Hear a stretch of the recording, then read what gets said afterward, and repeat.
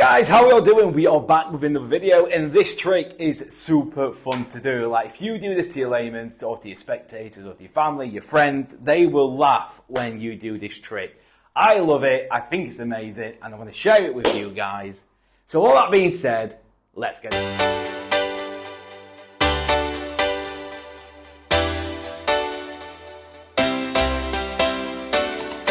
Okay, so here is a performance guide. So what's going to happen is the card can get mixed up, and we do need a card. So actually, you know what? We'll use this one because it's been signed. So a card gets selected, it can get signed, and it gets placed inside the centre of the pack, and it can get mixed up. We know it's not on top or the bottom. So what we're going to do is mix all these cards up just like this. So all the cards get mixed up. And you place your hand down on the table, and you tell them to place any card onto your hand. You tell them to think about it. Think about what card you want. Don't look at it yet. Place it onto my hand. And let's say they choose this one right here. I forgot what the card were, but I know it was signed. You tell them to name the card, which I forgot. If it's signed, we know it is. Oh, it's a Joker. It wasn't a Joker anyway. Well, you should have let me do it myself, because if I did it, I would have found the card straight away. And like you can see, guys, it's just stuck to the back of your hand. It's a very, very fun trick to do. You'll get so many laughs doing this because you don't expect the card to stick to the back of your hand. They really, really don't. And it's still stuck now and it's not even going to come off, which again is really good.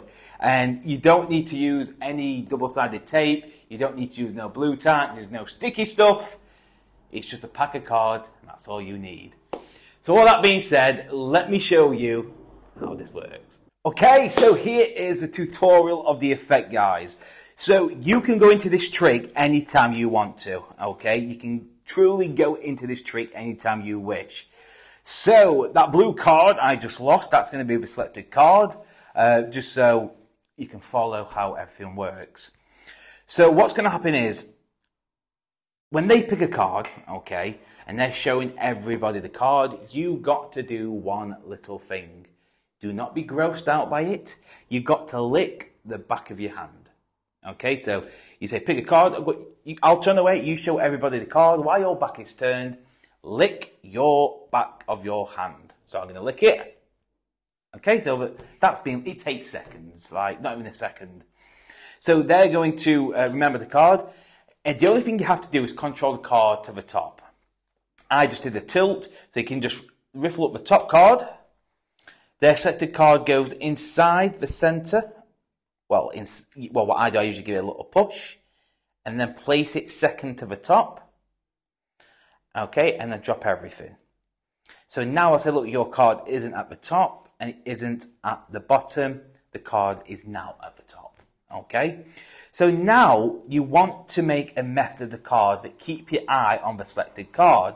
So what I do, I mix all these up, okay, like this, keeping my eye on, on their selected card, and I just place my hand on top of the card, okay, and I say to them, place, and I'm pushing down hard, okay, and I'm not like trying to break the table, but I'm putting enough pressure down on the back of, at the back of the card with my hand. I tell them to give me any card they wish. Okay, any card they feel like. So let's say we choose this card. I say, look, are you sure you want to you want to keep that card? You want to change it? You, you play this big, and they'll go, no, I want this card. You say to them for the first time, name me your card. They'll say seven of spades. You turn it over, and it's not. Then all you then all you say is, I should have done it myself, and then you turn your hand over and gather the cards up. See, the card is just stuck to the back of your hand. It's like a little spider. Um, and honestly, guys, it's such a great, powerful trick. It really is. And it's Bill Malone's. Bill Malone, I first saw him do this, and I thought that is absolutely incredible. Um, a great little idea. And look, it's not even coming off well, you wouldn't do that, but but that is it. So let's go through that again, guys, just in case you missed it. So a card is going to get selected. So please choose a card. I'm doing the blue one again, just so you can see it. And I'm like, show everybody the card. I give it a lick, showing everybody the card. I'm getting a break on the top card. Okay. I take the selected card and I'm, I usually hit the middle, so the uh, front part comes out, so it looks like it's going to the center, and then I place it second to the top, so it goes in. I drop the break, and then I say, look, the card isn't at the bottom, it isn't at the top, it's somewhere lost in the center. You can go into false shuffles now, okay, if you wish. So when you've done that, you're going to spread the cards among the table, okay, keeping your eye on the selected card. So you're going to spread the cards and place your hand on top of the card and then push down. Okay, I'm not like that. I'm not pushing hard. Well, I'm putting enough pressure on so I know when I lift my hand up and turn it over, it's going to stick to the back. So I'm pushing pressure down while they're going to be choosing any card. So let's say they choose this one. I say, okay, do you want to change your mind? You can change your mind. Yeah, okay, change. Oh, what was it though? Oh, good job you did change your mind and you play it along and, you know, have a laugh with them. They choose a card, you say, are you sure? Are you happy right there? They will say yes. Then you say, okay, for the first time, name your card. They will say the seven of spades. You turn it over and it's not. And then that's when I say, well, I should have done it myself. And then they're going to see the card, and they might not react straight away. It might take them a second for it to kick in to see that the card is stuck to the back of your hand because you're not, expect, you're not expecting a card to stick at the back of your hand. They really aren't. And that is it, guys. It's that simple. I, I just wanted to share you this trick. It's by the legend Bill Malone. He's the best magician in the world. And yeah, great, great trick. And that, my friend, is a tutorial on I should have done it myself. Okay, so that is the end of the video, guys. I hope you enjoyed this trick.